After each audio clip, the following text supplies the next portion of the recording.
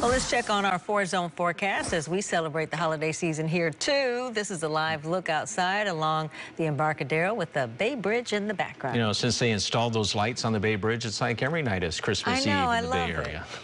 Lawrence.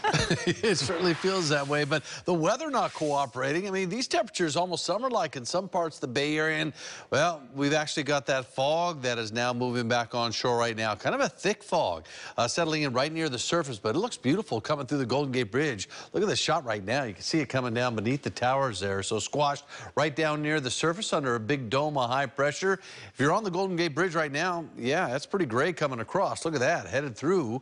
You've got some of that fog out there, some true ground fog right now, and along the coastline. We saw this sweep on shore uh, about the middle of the day, and it's kind of been hanging around. Now, that onshore breeze continues, but there's a sense, you can already see it here in the North Bay, a little bit of a northerly wind beginning to develop. That's that offshore breeze, probably going to clear out our skies as we head through the day tomorrow. But the overall trend, you've got a huge dome of high pressure in control, and that ridge does not want to break down. Once you get a system like this uh, setting itself up, just uh, takes a long time for these ridges to break down, so we stay dry. And it looks like that'll continue uh, for tomorrow. The temperatures outside right now cooling off. You're in the 40s now in Novato, uh, low 50s into Dublin, 54 degrees in Vallejo, 50 degrees in St. Helena, and 53 in San Anselmo. The trend now, you see the jet stream well to the north, and boy, those storms lining up out there, again, going to pummel the Pacific Northwest. Get up into Canada, get into Vancouver, very heavy rainfall coming their way. We're left with sunshine and hazy conditions, and high pressure kind of just reestablish itself. We get these fronts that roll over the top of that ridge,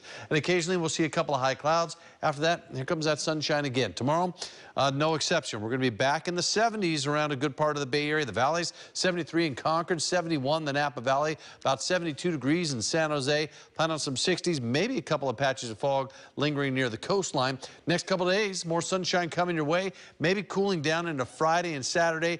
And then the latter part of the weekend, I think Sunday into Monday, there's at least a hint of a cold front coming through, maybe bringing some showers to Northern California right now. That may open the door to some more rain for us next week. Okay. Thank you, Lawrence. All right.